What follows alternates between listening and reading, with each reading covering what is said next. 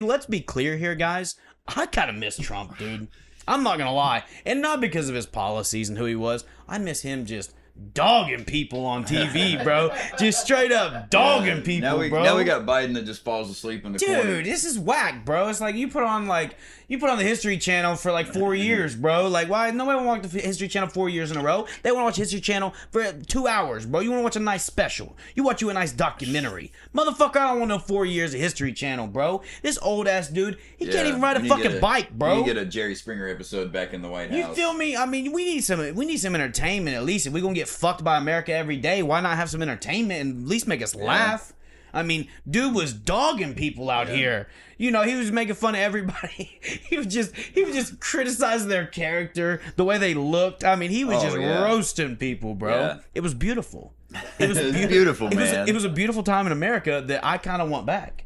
And that's the thing with Trump right now. I don't like him. I'm not a Trumper. I'm not a Biden supporter. Trumper, is that what they're called? I think they're called Trumpers, bro. I don't know. I mean, I'm pretty sure a Trumper, a, a Donner, you know? I mean, what, what, what do they call it, you know? I don't know.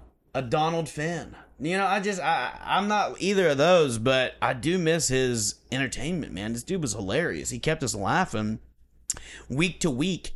He was the was best material for the internet, man. Yeah. Like, this dude just crushed. Memes, And dude, every uh, comic. uh, another thing is that won Trump and really got him to where he was is because he played the game that everybody played, and he got to the top, turn around and let you know that he was a crook. He was like, "Hey, I'm playing this game just like they are, and it is fucked up and it's rigged, Yeah. but I'm gonna tell you it's rigged and I'm gonna win." yeah. Like, I kind of gotta be like, He's like, "Damn, I'm, like, it's, he knows that it's rigged because he's fucking playing the same game that all the rest of them are playing. and that's and he admitted it. He was Yeah. like, "Hey, he was like, well, the rest of your friends maybe need to be paying Right. shit too." He's Yeah. like, "I'm not the only one," and and that kind of shed light to the public that like, Yeah. yeah, he's a dirtbag, but at least he admits it. You know, like that kind of that put people in a perspective of like, I love him because none of the other people they try to be clean they try to be you know they try to be like squeaky clean and they don't really conduct themselves in a way that is anything less than perfect Yeah. and they're christians and they're this and they're that and there's these staples that they put on people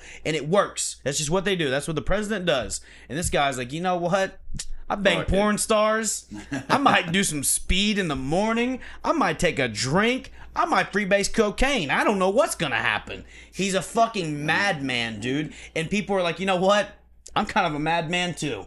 I like this guy. He's fucking well. crazy. Let's just go ahead and vote for him. He's a crazy guy. And it's so silly to think about